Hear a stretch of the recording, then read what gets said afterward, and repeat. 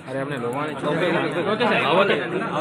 तुम ही बोले वारंगल में दरगाह माशूक रब्बानी अलैह पर हम लोग हाजिर हुए हैं ख़ास तौर से मुकामी एम एल ए नरेंद्र साहब हमारे चीफ विप विनय भास्कर साहब जो एम एल ए हनमकुंडा के हैं और हमारे मौलाना यूसुफ साहब साहब चेयरमैन खादी बोर्ड और ख़ास तौर से हज़रत मौलाना नबील बाबा साहब जो सज्जाद नशीन हैं उबैद बाबा। साहब और हमारे बहुत से कारपोरेटर साहब डिप्टी मेयर साहब हमारे लोकल कारपोरेटर साहब बहुत से कायदीन वरंगल और हनमकुंडे के यहाँ मौजूद है। सबका मैं फर्दन फर्दन शुक्रिया अदा करता हूँ। क्योंकि अलिया अल्लाह के पास जो आते हैं, वो अल्लाह के चाहने वाले आते हैं। आज यहाँ पर आए, ख़ास तौर से हमारे आनबुल सीएम साहब की दराजी उम्र के लिए दुआ की गई। और उनकी जो हुकूमत है, जो उनका सपना है गोल्डन तेलंगाना बनाने का, हम अलिया अल्लाह से दुआ करते हैं कि उनकी जो इरादा है, उसमें कामयाबी अता फरमाएँ। और टीआरएस पार्टी एक ऐसी सेकुलर पार्टी है, जिसकी हिंदुस्तान में मिसाल नहीं है।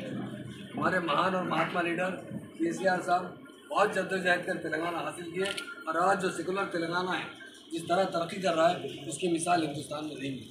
और हमारे वर्किंग प्रेसिडेंट जो के टी रामा राव साहब हैं, उनके लिए भी दराजी उम्र के लिए दुआ की गई और हमारी टीआरएस पार्टी के लिए दुआ की गई। अरे वली अल्लाह, आप हमारे लिए मदद कीजिए। तो यहाँ पर जो भी आते हैं मन्नत करते हैं, दुआ करते हैं अल्लाह ताला कबूल करता है, इसलिए कि अल्लाह के नेक बंदे ये बहुत इबादत की है। आज साढ़े चार सौ साल से लोग यहाँ बराबर आते हैं।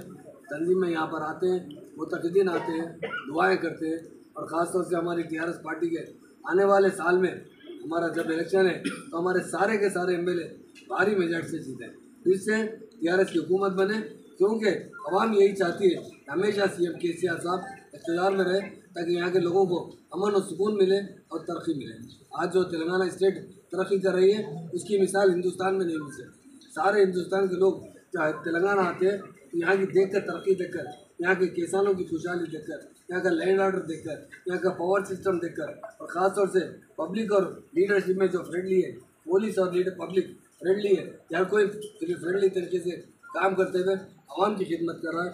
आज हम सऊदी अल्लाह के पास आकर हमारे बुज़ुर्ग हजरात पर आकर और हमारे मशाकिन हजरात के पास आकर उन सामान की हम दुआ लिए और यहाँ पर दुआ की गई अल्लाह ताला टी पार्टी को हमेशा इकतदार पर रखे और हमारे के सी आर साहब को सहायता तमाम मीडिया भाइयों का फिर एक बार दिल से शुक्रिया अदा